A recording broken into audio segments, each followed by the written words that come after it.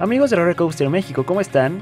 El día de hoy, 19 de agosto de 2020, Six Flags Hurricane Harbor Huastepec anuncia que el parque acuático más cercano a la Ciudad de México reiniciará operaciones para el público en general este próximo sábado 12 de septiembre de 2020. Esto será mediante la compra de boletos y reservaciones en línea.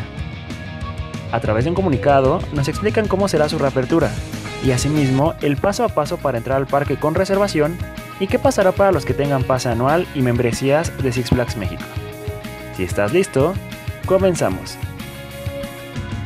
De acuerdo con las medidas implementadas por el corporativo de Six Flags, se establecerán límites de asistencia que estarán por debajo de la capacidad del parque acuático y que han sido emitidas por las autoridades locales para permitir una sana distancia.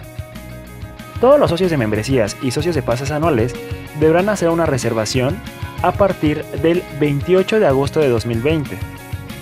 Los socios con membresías pueden disfrutar de entrada prioritaria al parque y enormes descuentos de hasta el 50% en alimentos y mercancías seleccionados. Los niveles Gold Plus, Platinum, Diamond y Diamond Elite están disponibles con todas las ventajas de un pase anual, más otros beneficios que incluye la admisión a todos los parques temáticos y parques acuáticos de Six Flags estacionamiento preferente con previa reservación, así como un boleto para invitar a un amigo pagando únicamente 99 pesos durante la reapertura y bueno, entre otros beneficios.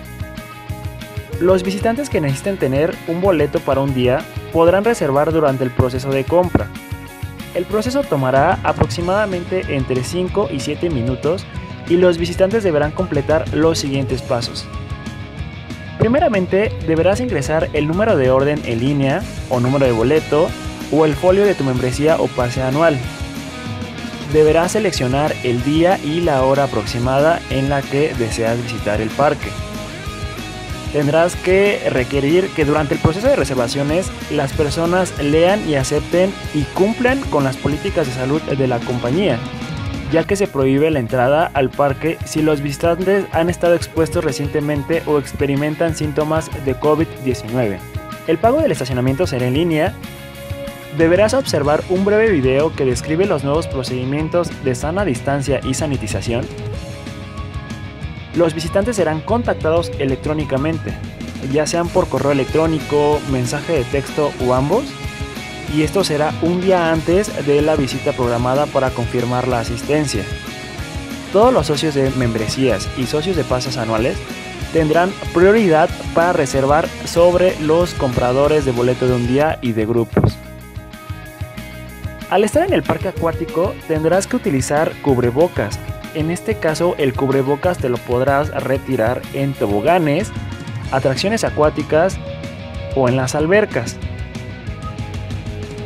Asimismo, el parque acuático también ofrecerá zonas de descanso de cubrebocas, esto en ubicaciones seleccionadas que cumplan con las medidas de sana distancia y son exclusivamente para visitantes que desean descansar temporalmente su cubrebocas. Utilizarán innovadores sistemas de imágenes térmicas, mismos que evitarán el contacto y se utilizarán para evaluar la temperatura de los visitantes y colaboradores antes de entrar al parque se incluirán señalizaciones de sana distancia fáciles de identificar en todo el parque, toboganes, atracciones acuáticas, en baños, en tiendas souvenirs y filas de toboganes y o estaciones de comida. Los visitantes podrán subirse a los toboganes en las balsas con su familia o grupo pequeño, pero no podrán compartir una balsa con aquellos que no estén en su grupo inmediato. Un número limitado de chalecos salvavidas estarán disponibles. Sin embargo, se pide a las familias que traigan sus propios chalecos salvavidas certificados para aquellos que no saben nadar. Todos los chalecos salvavidas de Hurricane Harbor se desinfectarán después de cada uso de los visitantes. El corporativo de Six Flags desarrolló nuevas tecnologías para reducir el número de transacciones en efectivo dentro de las instalaciones de sus parques, por esta razón y para reforzar la sana distancia, y en este caso disminuir las transacciones en efectivo, se implementará el uso de pedidos de comida en línea, por lo que los visitantes deberán descargar la app de Six Flags y está disponible tanto para Android como para Apple. Los menús reducidos y la implementación de pedidos de comida en línea ayudarán a facilitar las transacciones para no tener contacto inmediato. En este caso se colocarán imágenes con información de seguridad en todo el parque. ¿Qué tal? Una tarde con la familia en Hurricane Harbor Huastepec. Ahora solo nos quedamos a la espera de la reapertura de Six Flags México.